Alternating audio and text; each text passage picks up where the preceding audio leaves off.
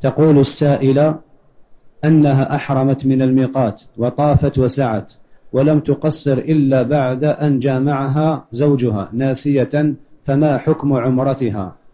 عمرتها صحيحة ولكن تحتاج إلى فدية. تذبح فدية في مكة وتوزعها على فقراء الحرم. نعم.